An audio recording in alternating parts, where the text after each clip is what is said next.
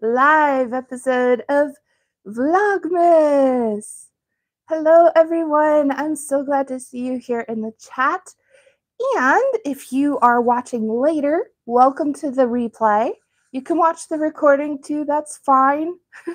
Feel free to chat if you're live or put comments if you are watching the replay because I do check the comments. So you won't miss out. All right, friends, welcome to Vlogmas. I am going to take a sip of my coffee. Let me know if you have anything cozy and warm to drink and what you're working on while you watch. I would love to know what projects you are up to. So let me know while I take my sip of coffee because we're live and that's what happens. good morning. Good morning. Someone's getting around to Socktober. Happy knitting. All right. Well, I have a couple of housekeeping things to cover real quick, and then we're going to get into some fun. We have spinning. I will answer spinning questions, and I'd love to get some ideas and help deciding what to do for my next weaving project. So let's start with a couple quick things about housekeeping. First of all, I want to apologize because there is something that was unforeseen that has come up as a result of me doing Vlogmas Live. And that is that we don't always have good live captions. I, I had a little conversation about this with uh, my patrons in the Discord chat. And in my opinion, there's absolutely no excuse for a platform as massive and well funded as YouTube to not have quality captioning on live streams. I I understand that some people are getting a captions not available message. So I've checked with some other YouTube creators. They've also been getting that message. I've gone into the back end of the YouTube stuff. Everything I can control has captions turned on. But it seems that YouTube is having some platform glitchiness right now and um, like I said, there's no excuse for that. really, it's an accessibility issue. And everything that's under my control to take care of that during live streams is done. YouTube needs to get their act together in that regard. So, um, it used to be a quick way to contact YouTube if you tweeted at them, but I've left Twitter since it got invaded by the muskrat. So, I don't have that avenue of accessing YouTube support, but I'm going to find a way and I will be messaging them today. If any of you know how to contact YouTube, I will encourage you to do so because even if you're not, you know, if you don't personally need captions, people in our community do. And I think we should speak up for them. So that's what I'm going to say about that. I'm a little upset about it, if you can tell, but we're going to take a deep breath now.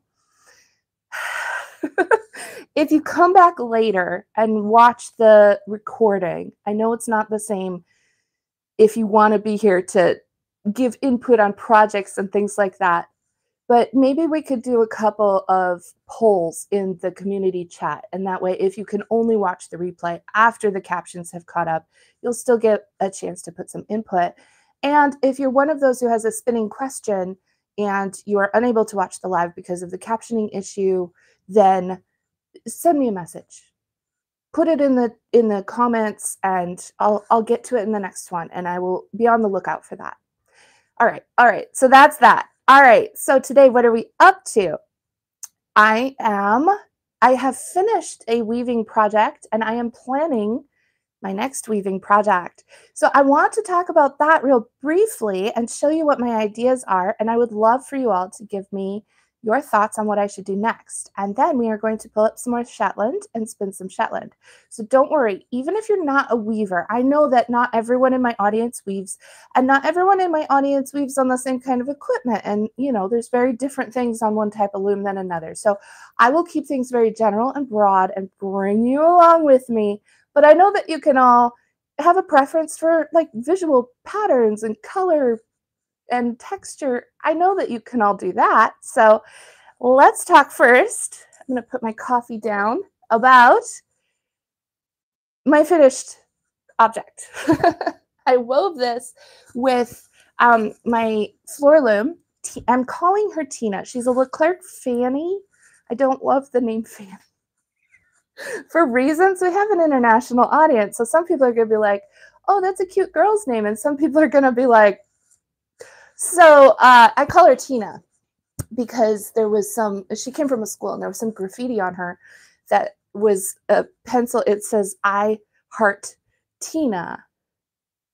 And so it's a story of young, immature love. um, so this is what I have finished. This is like a, it's like a wide scarf or a, a wrap maybe. So this is what it looks like. And it was a lot of fun. It's finished because it's washed, but it's not finished because I haven't clipped all of the threads yet. I don't think it needs too much pressing, but the detail on this, this is what I mean about color and texture. The detail on this is very cool. And I did put what pattern this is down in the description. If you want to find it, it was part of a four pattern collection. It was with Gist Yarn and it was designed by Arianna E. Funk. This is Drop Drop Jaw. I'm not sure if I'm pronouncing it right, drop jaw, which is a Swedish variation of huck lace. But if you look, the way it was threaded, it it opened up on these diagonals to let this thicker yarn kind of pop through. And so this one was doubled and you can see where it kind of goes along here. The orange is doubled um, and it's a little thicker. And so then when you finish it, it pops up and you can see, look at all this texture. Isn't that so cool? You know what it reminds me of? It reminds me of bubble wrap. And I just want to like sit here and squish each little fuzzy nub. um, but this was a lot of fun. It helped me get to know Tina. And um, I was struggling a little bit with some rhythm and moving her around. She's very quirky. She's the old version of the uh, Leclerc Fanny. So she doesn't have like the shed regulator and stuff. So she's a little fussy, but we're getting to know each other and that's okay. so anyway, that is my first, and here you can see like how it drapes and everything. Oh, we're getting some jingle bells. jingle bells. um, so what's next? I need to weave something else. Let's talk about that. And I printed some pictures because usually I don't have to worry about that because I can just pop it up here when I edit later, but we're not editing later. So I have pictures that I'll just hold up here. we'll make it work. All right. I want to make some mug rugs. I don't have coasters in my living room. Also, coasters are great because you can do a whole run of them and give them away for gifts. And they're a really cool, quick project. So, oh, what makes okay i have a question. I'm going to interrupt myself and address this. What makes a loom finicky? Good question. I will say what makes this loom finicky but there are a ton of things that could make any loom finicky. So because this one is old the wood has dried settled shifted moved around the bolts have loosened up. So like everything also this model is a collapsible loom so the the warp in the back there's a there's a thing that sticks out to hold the warp. It can close up. Basically the loom can fold up. And so there's a there's a hinge here that allows part of it to go in and out.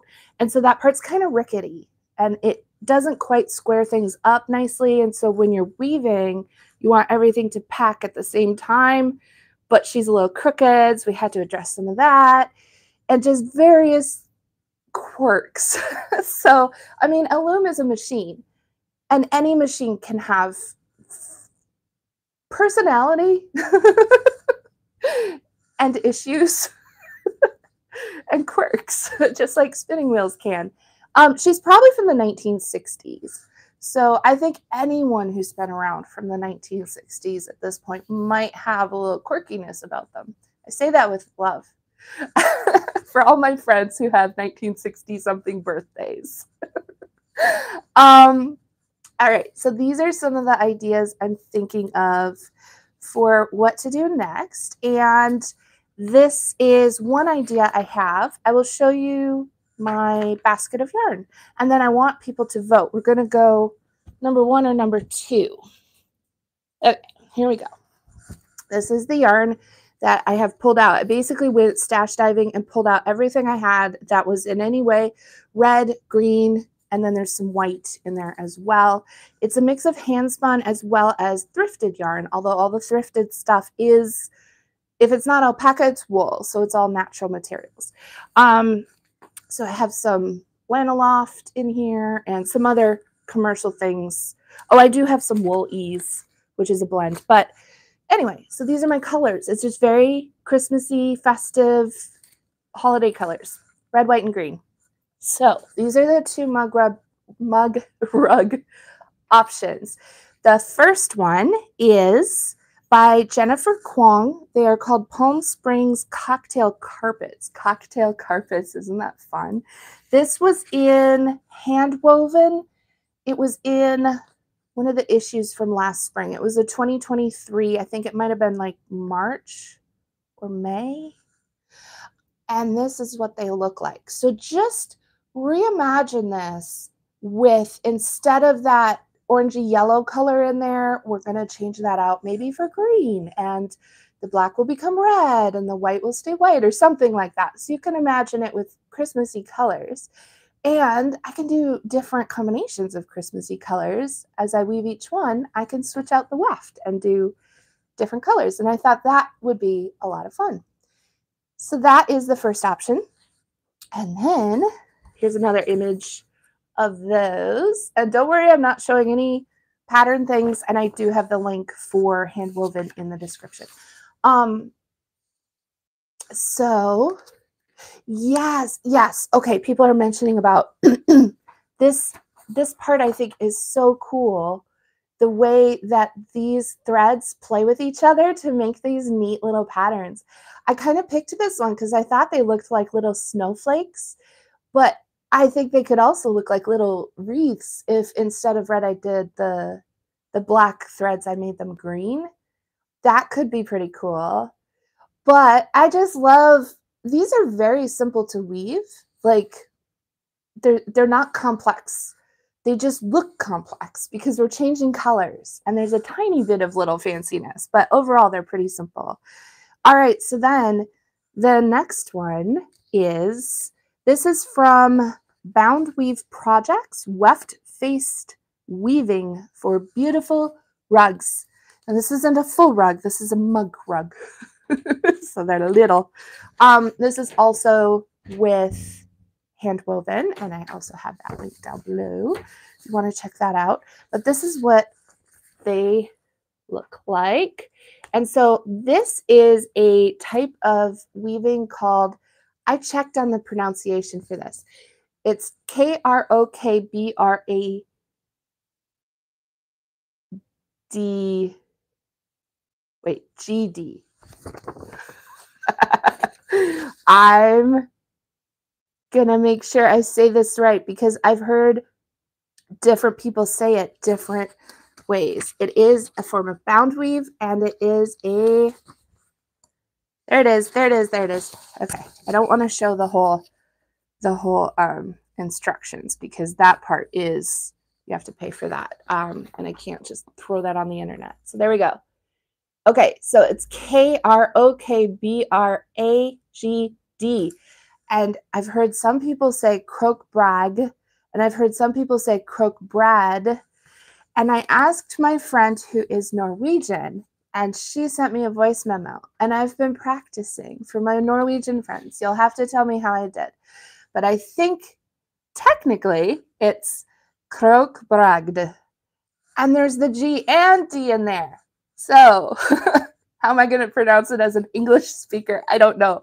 But I think it's fun to put the G and D together. So I'm going to try Krokbragd and go with that. So please forgive me. um, but my friend does have a YouTube channel. Her name is Christine, and you can check out her channel if you'd like. It's Christine Vike. She has some really amazing deep dives. If you're into textile history and uh, like deep dives into the textile industry. Amazing channel. So, uh, yes, go check out Christine Vike. Awesome channel. Okay, so shout out for my friend who helped me with my Krokbragd pronunciation. We'll see how I did. I'll have to ask her to give me a grade. F minus or A plus for effort. so this is the other option of mug rugs. I thought these were just so beautiful. And imagine these with varying, not just the three colors, but different shades of the three colors, like different shades of green, maybe some darker green playing off some lighter green. And, you know, oh, it could be beautiful, right? It could be so amazing. The thing is, Krokbragd takes forever. you basically have to weave three times back and forth to build up one row of the colors. And so it takes a while. But it could be fun to watch as these develop. So let me know if you'd like to see. Number one is the number one option is uh, the what are they? The cocktail carpets. So that's number one. And then number two is the Krokbragd. And that is what they look like. Okay, why not both? I probably might actually end up weaving both, but which one first? That's the question. All right. So I want you all to just put in there number one or number two, whatever you like. And then I'm also going to check in on the comments later. So if you are rewatching this later, you'll have a chance to vote. Put number one or number two, and I will go and tally them up and we'll see who wins, who goes first. So we've got number one and number two. So, all right, let's get to some spinning. I have finished the first Vlogmas spin. This one. That's the one we did on what is today? Today is Sunday. We did this one Friday. but I have a basket of more colors to choose from. So let's pick one. Should I close my eyes and reach in? I think I need to do that because we're voting for the weaving pattern. It might be confusing if we're also voting for yarn colors. So I am going to shake this up a little. Excuse you. I'm going to shake this up a little bit. I'm not looking. I'm just going to reach in and grab one. And today's spin, let's go down to the bottom. Who are you? What do we have? Ooh, pretty. It's like a rich kind of a orangey. It's a cinnamon color. It's like a, a deep cinnamon color. It's beautiful to the spinning wheel. All right, I am going to adjust the camera. So if you are sensitive to camera movements, want you to close your eyes, look away, and I'll tell you when we're done because we are going to go uh, over and down with the camera today. I have a fancy setup so you can see the wheel better. Here we go. Close your eyes. All right. You're looking at my floor now, and we're going to adjust this over. Oh, you can see me over there. That's how I'm keeping track of the chat. I would see how organized I am today. We're going to go right like that. Ta-da! Okay. I hope this is a good setup. I hope you can see as I'm spinning. And I'm going to take another sip of my coffee. Okay, and I have you all set up down here. And I have my hair clippy so I can put my hair up because, you know, when we're spinning, we're working out, kind of. oh, we're getting some snow today and the heater came on and so it's getting warm because I am in a room that just gets kind of warm. So Oh dear, this is making me nervous. I'm going to move my coffee. We'll put that over there. The organizations of live streams. All the organizing. This is an antique spinning chair that my one of my kiddos got me, and I love it. It's amazing. I'm going to put, aha, there we go. Put that up there. And I can see the chat. Excellent. Excellent. Okay. So let's go ahead and thread. I am on a very small whirl. I checked. It's not the smallest, but of the two whorls that come with the Schacht Matchless, it is the smallest of those two. Why am I on such a small whorl? Well, because I do plan to weave with this. So I do want it to be a little bit high, high twist in the singles. Also, um, because I can go faster and I have quite a bit to spend for this month. Um, you know, so let's get it done, right?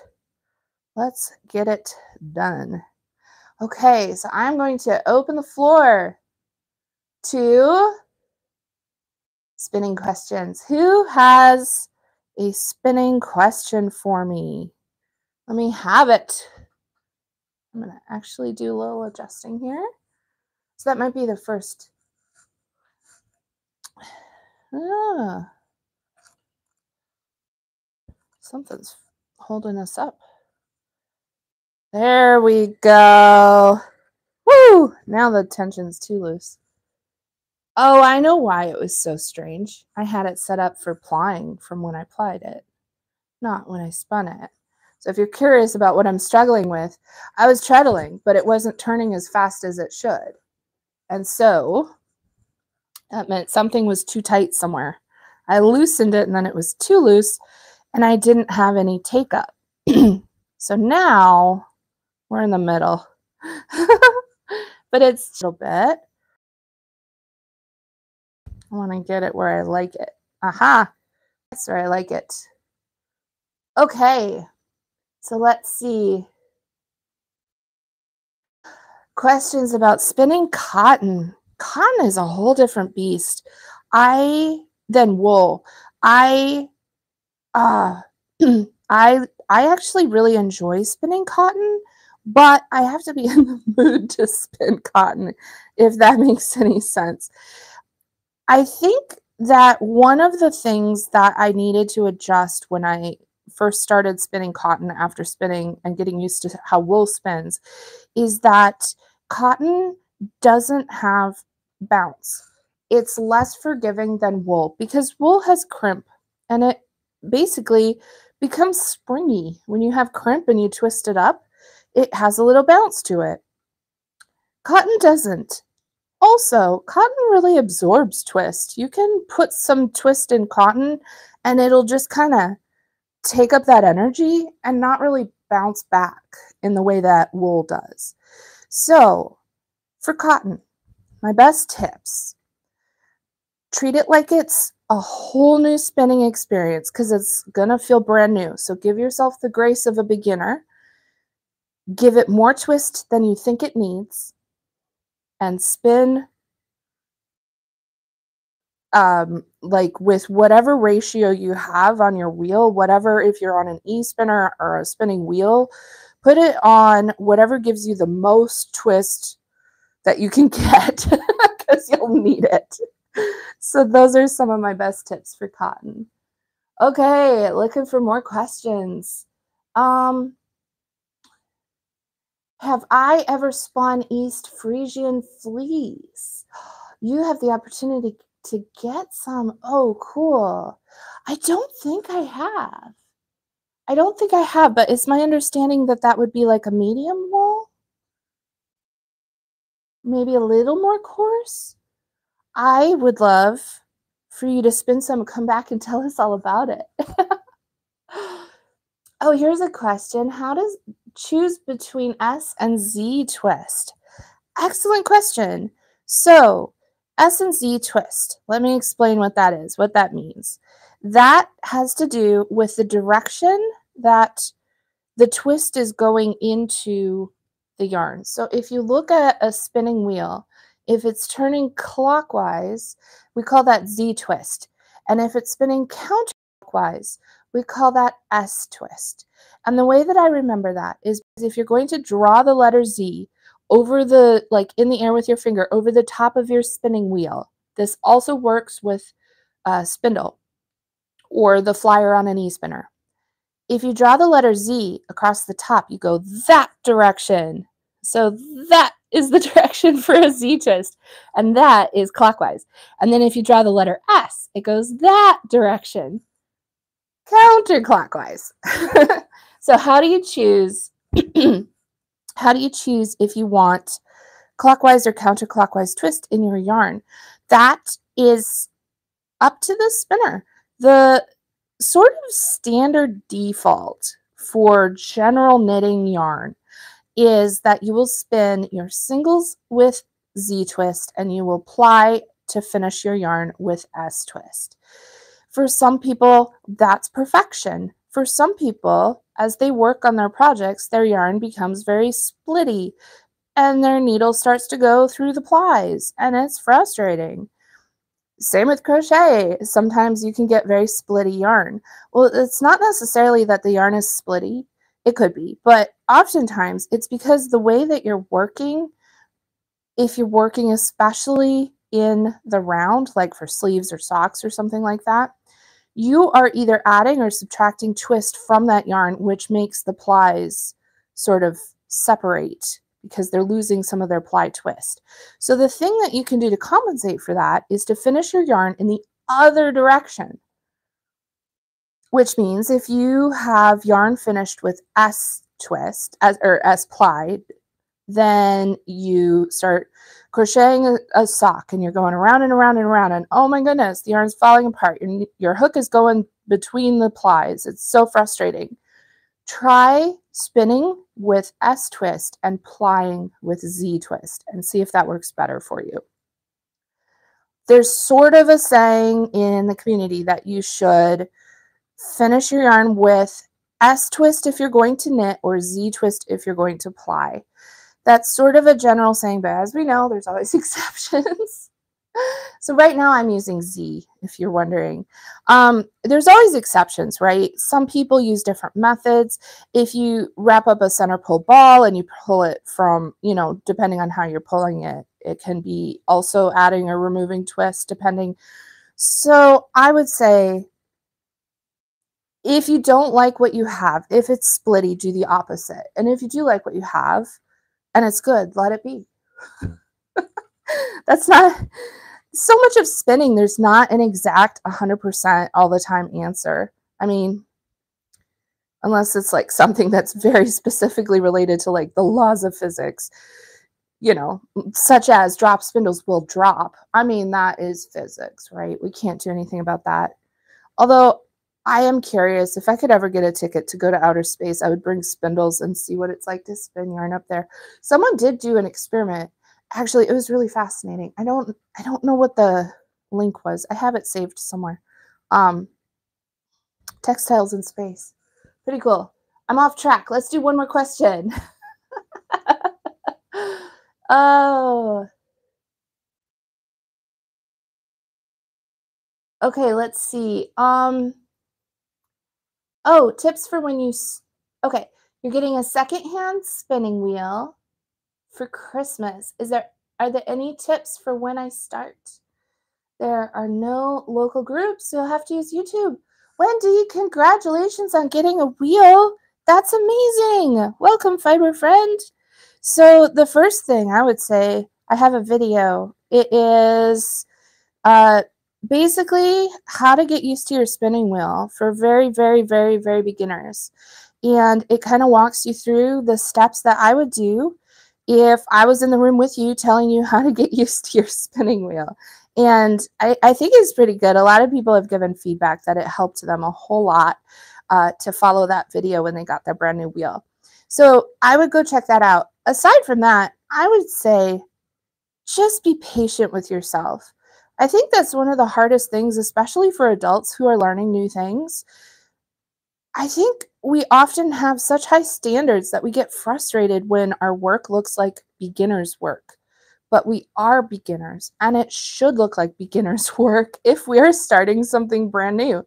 And I think that a lot of that just, you know, beginner's mind, but that that willingness to accept whatever results are and be curious about why things came out that way, why things are the way they are, doing things on purpose to be wrong just to see where the line is between what you feel is right for you and what's not going to be right for you, exploring the boundaries of the craft and just letting all of that be an exploration rather than does my yarn look good? you know? Give yourself that freedom to just explore and not be hard on yourself and don't judge your your first output as if you're comparing to someone who's been spinning for years and years and years, you know, because that's just not the same thing. So I hope that was inspirational. You'll have to let me know. but yes, that is, um, I think for for anything uh anything new you're learning whether it's spinning or weaving or any new craft, anything you do with your hands, our muscles have memory. But if they haven't done it before, they have no memory of it. You know, like insert Gandalf saying, I have no memory of this place, except it's the fine muscles in your fingers saying that. So give them a chance to explore. Oh boy.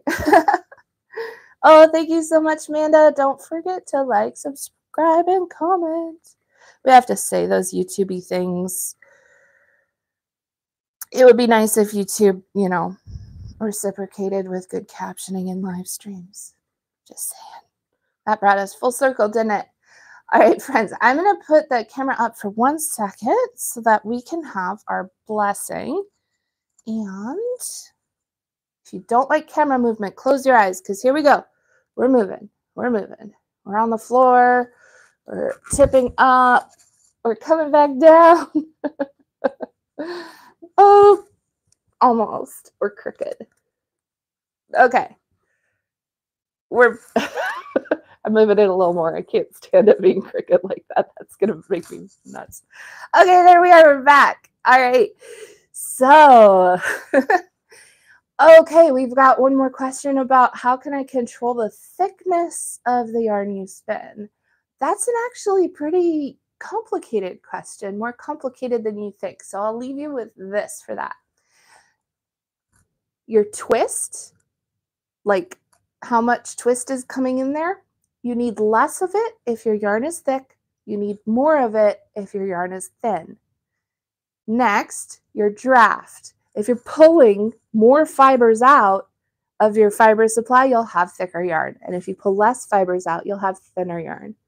So the whole process of spinning is that dance between how much twist your equipment is providing, whether that's a spindle or a spinning wheel or an e-spinner, how much twist that equipment is providing versus how much fiber you are providing.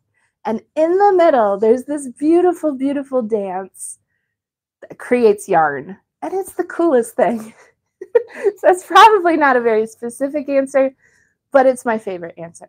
So I do have some videos about um, getting consistent singles. That might be a good video for you to go check out. And um, hopefully it'll help. So what is our blessing for today? I don't know if, I don't know if Mark is with us. Okay.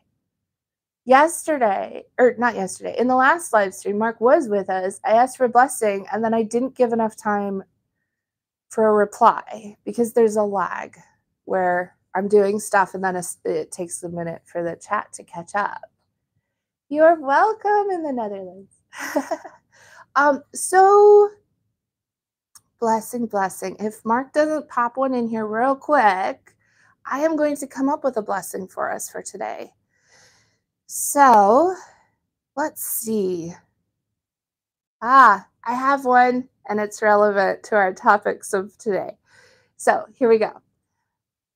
Happy Vlogmas, happy spinning, and may your S twist and Z twist never split your yarn. That's the blessing for today. So happy spinning, everyone. Um, I do have links in the description for my for my shop and then also for the patterns I talked about today. Keep letting me know if you want the pattern for my weaving project to be this is number ah can't show that number one or number two number one or number two let me know what you prefer and that'll be one of my projects for this december. All right friends i will see you in the next one. Happy spinning.